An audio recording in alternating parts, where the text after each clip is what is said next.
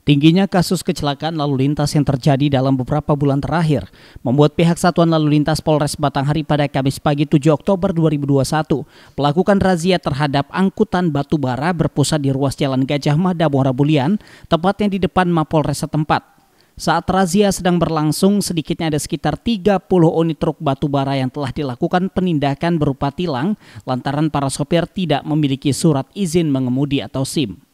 KBO Satlantas Polres Batanghari Ibda Simbang tetap mengaku ada beberapa hal yang harus dilakukan pemeriksaan terhadap truk pengangkut batu bara yang melintas di Batanghari, mulai dari kapasitas muatan atau tonase hingga surat-surat kendaraan. Jika tidak sesuai ketentuan hukum yang berlaku dalam berlalu lintas, maka pihak Satlantas langsung melakukan penindakan. Kita mengadakan penertiban angkutan batu bara.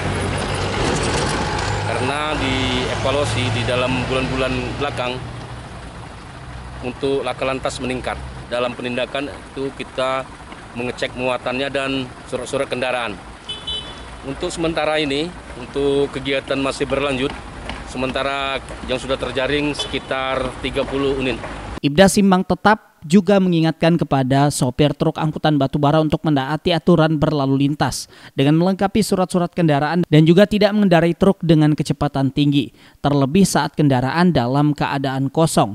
Hal ini untuk mengantisipasi terjadinya kecelakaan lalu lintas. Pierdana Atrio, Jambi TV.